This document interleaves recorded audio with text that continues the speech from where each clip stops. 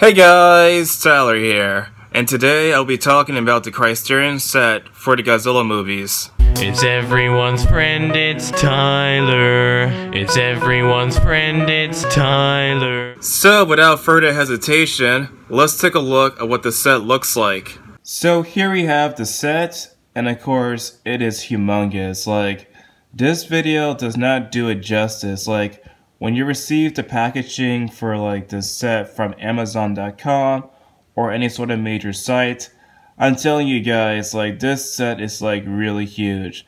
A matter of fact, I posted a picture on my social media accounts on, of course, uh, Twitter and Facebook, and practically like the whole entire set almost covered my entire face.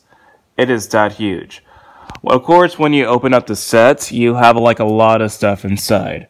Of course, you have, of course, like uh, Godzilla just, of course, attacking Tokyo, and some really, really nice uh, detail.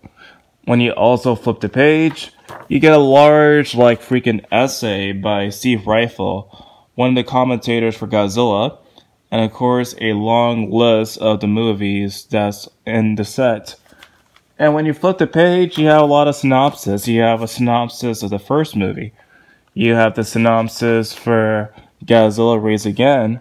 You also have a synopsis for King Kong vs. Godzilla and the rest of the movies in the franchise. And it goes on for quite a while. And a while.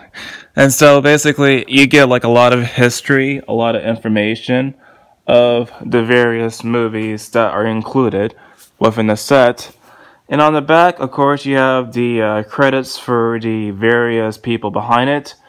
And when you open this part up, it is like, it was really, really crazy. Like, hold on one second, guys.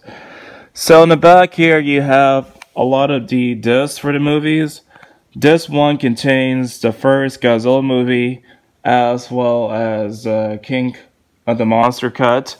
You also get the second disc, which has King Kong vs. Godzilla, the American cut, and Godzilla vs. Again.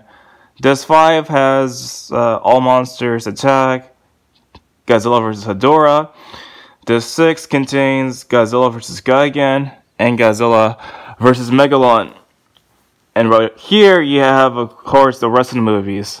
Disc 7 includes Godzilla vs. Mechagodzilla, Godzilla, see, the Terror Mechagodzilla, and this A contains the Japanese cut of King Kong vs. Godzilla, and a lot of bonus features.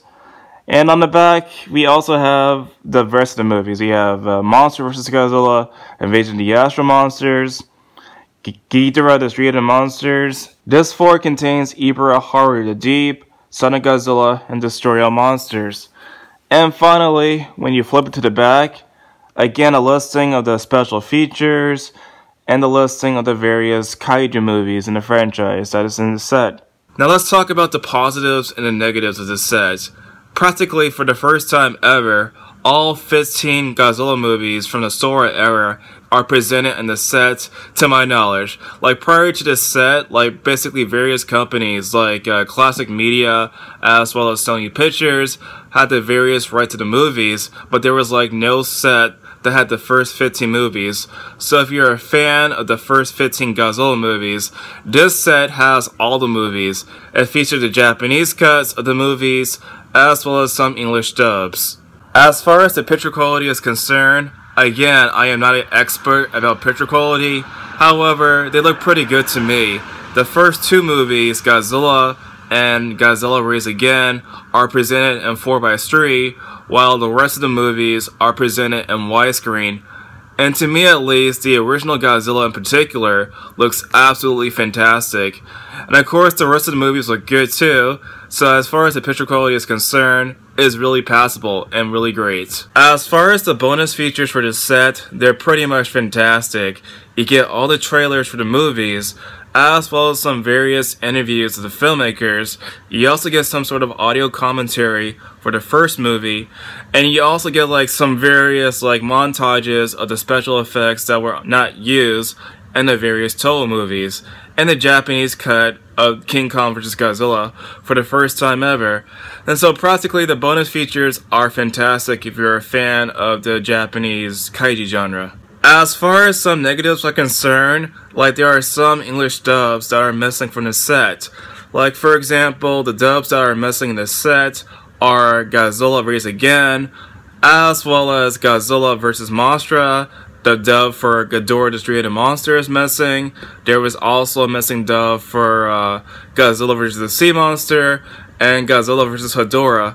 So if you're a fan of like those English dubs, unfortunately it's not included for the sets. So if you're a collector like me, the best way to get those English dubs for those missing movies are like the classic media sets and the Sony sets. But overall, I would recommend these sets for you guys. It's a really good like set, and you get all the movies for the first time ever in Blu-ray in North America. So what do you guys think? Tell me in the comment section down below, and I'll talk to you guys later. It's everyone's friend, it's Tyler. He's your only black friend, so he's your best black friend. I wouldn't trade him for another black friend.